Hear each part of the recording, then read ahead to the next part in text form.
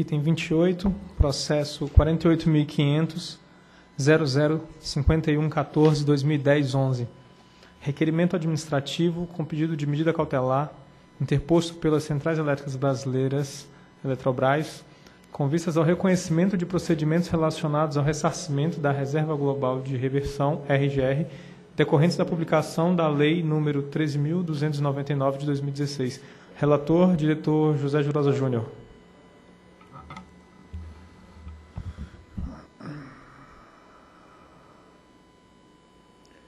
É, em 16 de maio de 2016 foi publicado o despacho 1208, que decidiu sobre a devolução dos recursos financeiros junto à RGR, pela Eletrobras, apurado do processo de fiscalização realizado pela SFF.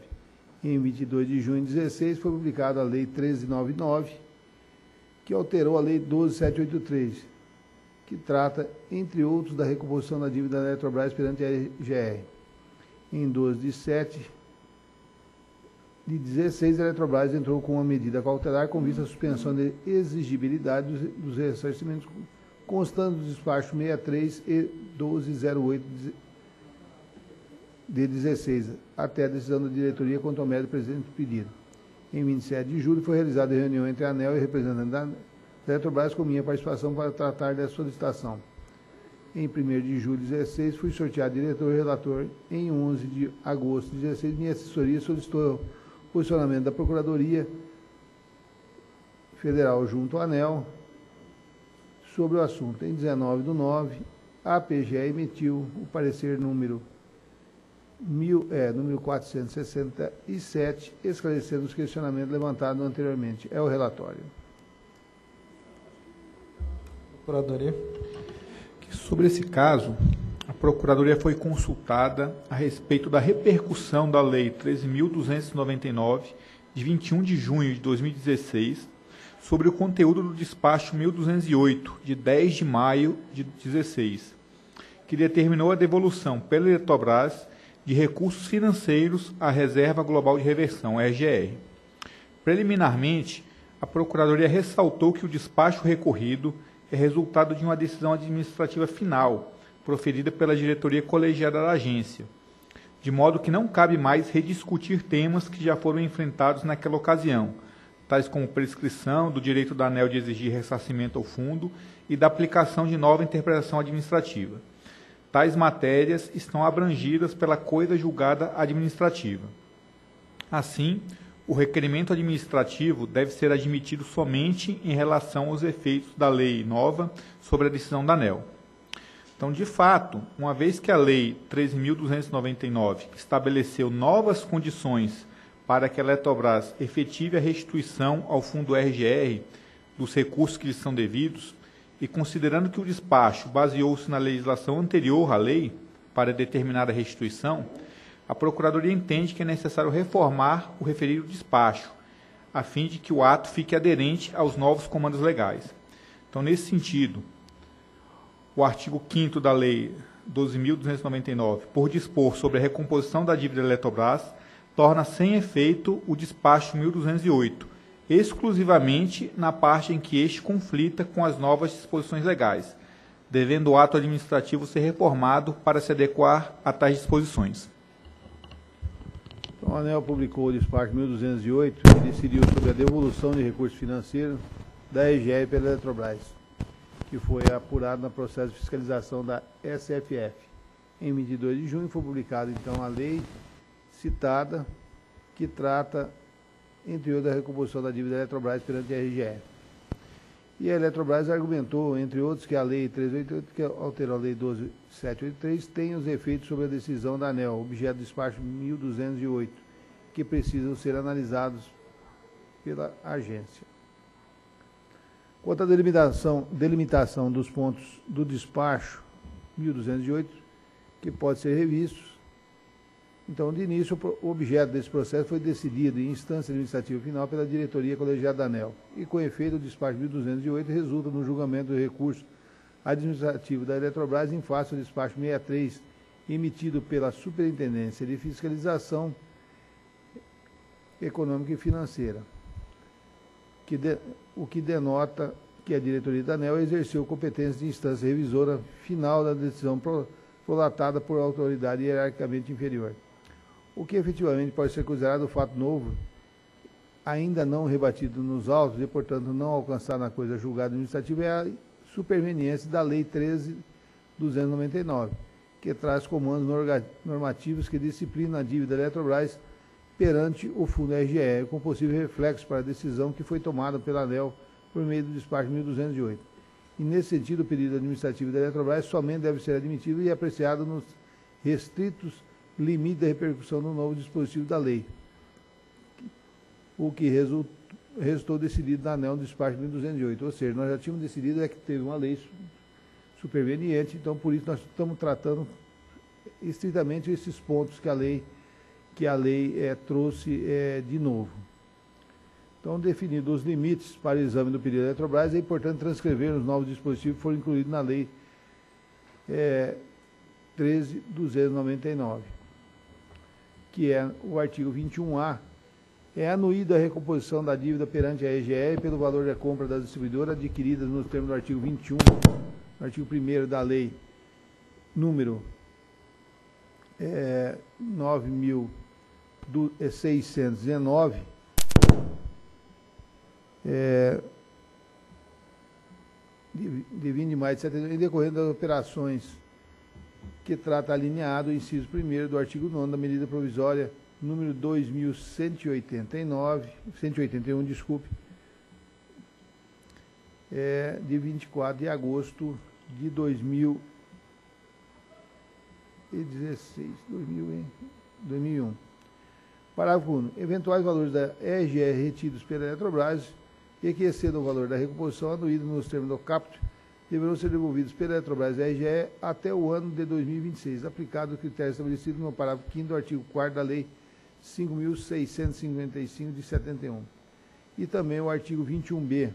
Será depositado no fundo EGE o montante obtido da alienação das ações adquiridas pela Eletrobras nos termos do artigo 1 da Lei 9.619 de 98, cujo valor de aquisição fez parte da operação prevista na linha A do inciso 1 do, do artigo 9 da medida provisória 2181-45 de 2001, e cuja recomposição foi anuída pelo artigo 21A dessa lei, limitando o valor de evolução do montante EGL utilizando a aquisição para a aquisição das ações na forma do artigo 3 da Lei 9.619 de 98, atualizando conforme o parágrafo 5 do artigo 4 da Lei número 5.655. Isso quer dizer, na verdade, é 5% ao mês, 5% ao ano. E o parágrafo 1 a alienação das ações adquiridas pela Eletrobras com recurso da RGE, após a transação autorizada pelo artigo 9 da medida provisória 2181-45, deverá obedecer o artigo 3 da Lei 9.619. E o parágrafo 2 depositados os recursos obtidos com a alienação da participação acionária no que se refere ao capto, considerar-se-ão quitados perante a EGE os débitos contraídos pela Eletrobras para a referida aquisição. Ao que se depreende no texto legal do artigo 21A da Lei 12.783, versa sobre a anuência de uma recomposição da dívida perante a EGM, frente ao valor que for utilizado para aquisição de distribuidores no termo do, parágrafo do artigo 1 da Lei 9.619, conforme já consignado nos pareceres 599 e 713 é, da Procuradoria Federal, é, os recursos da EGE haviam sido utilizados pela Eletrobras para aquisição das ações da CEAL, CEPISA, CERON e Eletroagro. E de acordo com, com o artigo 3 da Lei 9.619, os recursos obtidos com a futura alienação dessas ações deveriam ser depositados no fundo da EGE até o montante utilizado para aquisição. Sucede que o artigo 9, inciso 1 da medida provisória 2181 45 autorizou a aquisição pela União de crédito que a Eletrobras detinha contra Itaipu Binacional, permitindo que fossem utilizados como pagamento bens e direitos integrantes da EGR.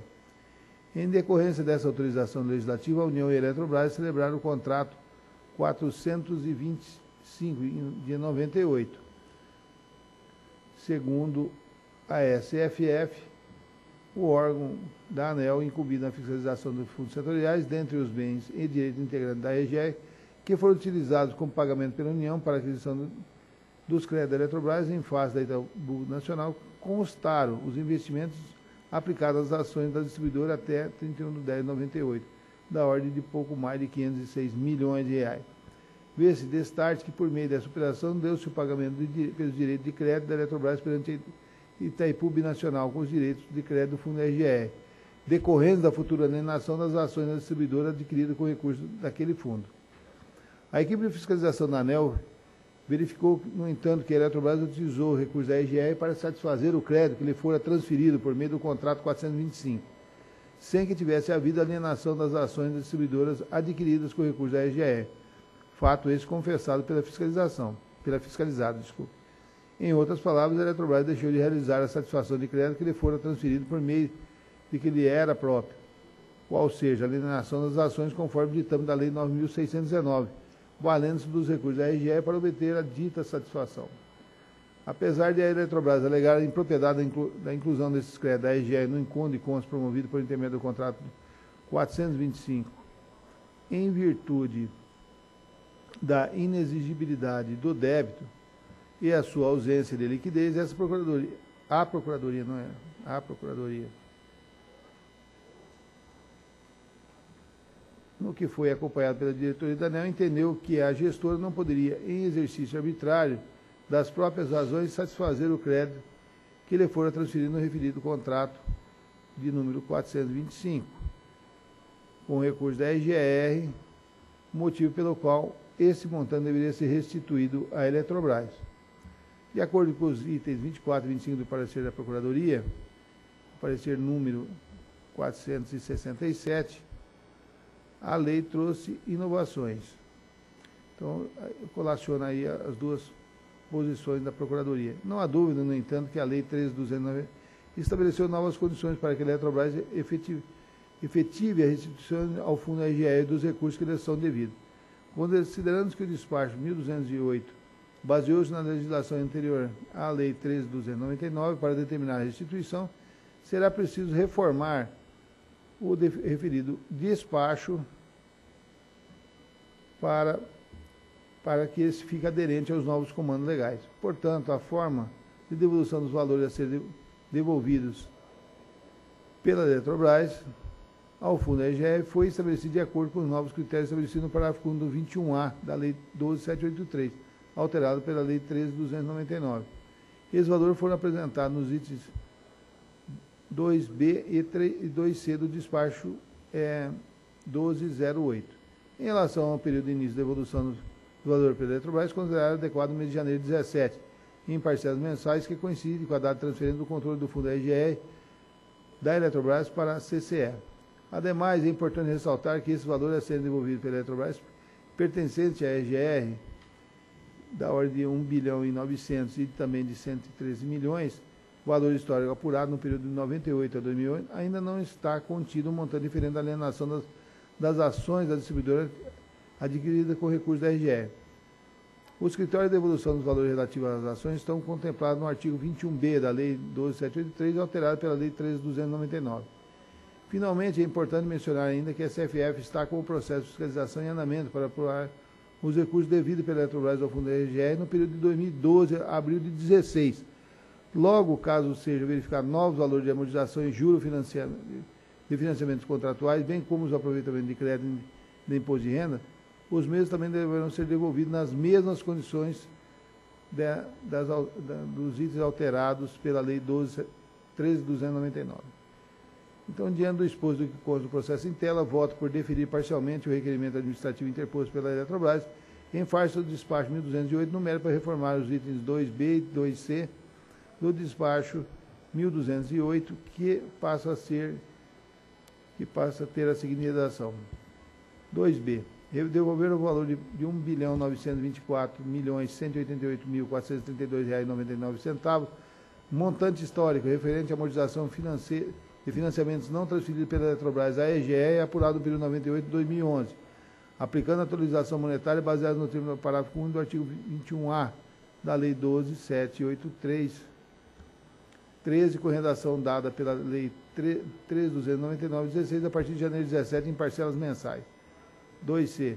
Devolver o valor de R$ 113.577.621.062 centavos, montante histórico referente à apropriação da Eletrobras em encargo financeiro da EGE, juros de mora, multa comissão de reserva de crédito, apurada para o período de 99 e 2011, aplicando atualização monetária baseada nos parágrafos único do, dos mesmos artigos acima, com redação dada pela Lei 12783, a partir de janeiro também de 2017, em parcelas mensais. É o voto. Em discussão. Em votação, eu voto com o relator. Eu também voto com o relator. Também acompanho o relator. Proclamo que a diretoria colegiada da ANEL decidiu por deferir parcialmente o requerimento administrativo interposto pela Eletrobras em face do despacho 1208 para, no mérito, reformar os itens 2B e 2C do despacho, que passam a ter a seguinte redação. Item 2B, devolver o valor de R$ 1.924.188.432,99 montante histórico referente à amortização de financiamentos não transferidos pela Eletrobras RGR, apurados no período de 1998 a 2011, aplicando a atualização monetária baseada nos termos do parágrafo único do artigo 21A da Lei 12.783, e essa restituição será em parcelas mensais. E o item 2C devolveu o valor de R$ 113.576.621,62, que corresponde ao montante histórico referente à apropriação da Eletrobras de encargos financeiros da RGR, juros de mora, multa e comissões de reserva de crédito, também apurados no período de 98 a 2011, aplicando também as regras do parágrafo 21A da Lei 2.783, e o pagamento também será em valores em parcelas mensais. Solicito ao secretário que chame o próximo item da pauta.